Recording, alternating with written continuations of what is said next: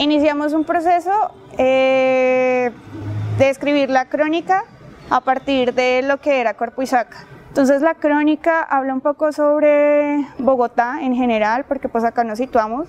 Habla mucho sobre el centro, sobre el centro histórico, pero también sobre nuestra experiencia en el centro oriente bogotano con un proceso que tenemos hace cinco años con adultos mayores, con quienes hemos eh, fortalecido el tema de memoria, de historia oral y de memoria histórica que pues ha venido como durante los últimos cinco años de los 11 que tiene Corpo Isaca ya eh, de conformación. Creo que el carácter de la organización es como esa capacidad para entablar los diálogos con los diferentes contextos en los cuales nos hemos, ya sea laboral o personalmente, eh, vivido y construir desde ahí con las personas. Corpo Isaca yo creo que es como, como una fuerza, digamos, como de como del interior de sus integrantes, como por digamos, aportar, pero también como poder ser creativos dentro de, digamos, nuestras, nuestra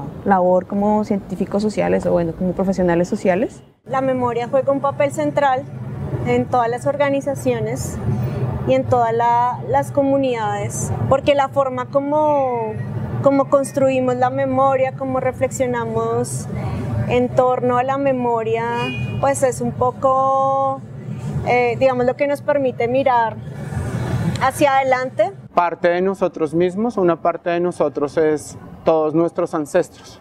Como que el yo no es solo la persona, el individuo, sino que también hace parte de la conexión con los ancestros, con, con lo que nos rodea. Nosotros eh, llevamos un tiempo haciendo temas de memoria y pues digamos como que hemos enfocado un poco pues la divulgación de la memoria. En ese aspecto pues tratamos de buscar algunas eh, digamos como entidades o lugares que nos pudieran permitir contar lo que hemos hecho. Nos hicieron algunos talleres, hablamos sobre temas de memoria, de patrimonio, de cartografía social.